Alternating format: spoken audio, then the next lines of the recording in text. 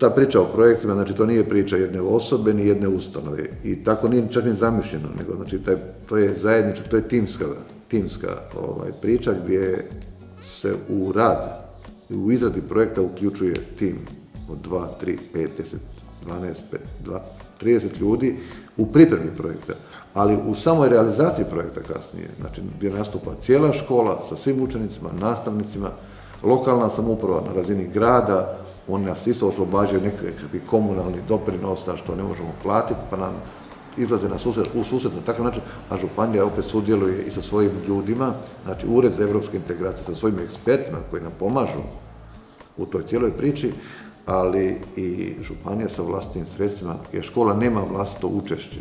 Županija tu kroz svoj proračun ili, ne znam, decentraliziranim sredstvima pomaže da bismo te određene projekte isfinancirali. Znači, to je priča, timska priča, priča svih nas zajedno.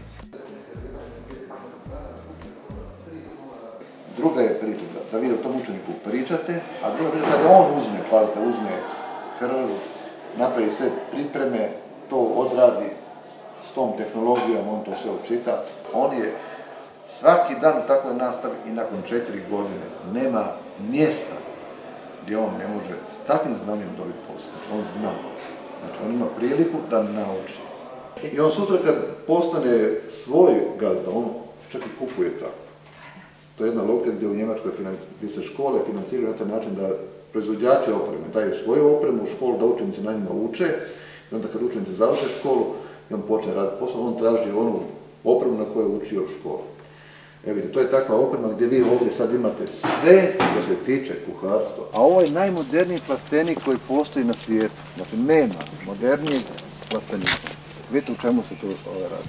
Vidite, ovdje se nalazi sva računalna tehnologija. Znači, otvaranje plastenika, zatvaranje plastenika, navodnjavanje, prozračivanje, hlađenje, grijenje, sve se nalazi tu i sve se vidi tu.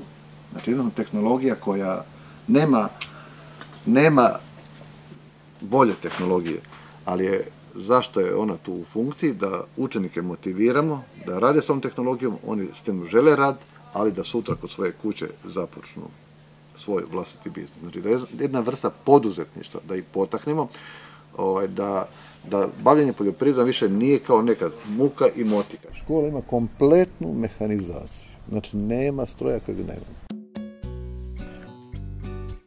Znači ovo sve što smo vidjeli, to je ovaj, školski vrtni centar koji je rađen sa svim pedagoškim, didaktičkim i metodičkim zakonitostima. Znači, rađen je tako da bi svi učenci koji budu prolazili kroz ovu školu u sve četiri godine sladali i naučili sve vještine koje su im potrebne za njihovo buduće zanimanje. Znači, ništa nije slučajno na jednom mjestu, nego je sve u smislu ovaj, metodike, didaktike, poučavanja učenika rađeno. Gdje se god postoje natječaj, mi smo se natjecali. Negdje prođete, negdje ne prođete, ali evo, stvaramo jednu školu koja je po mjeri učenika i potrebe gospodarstva.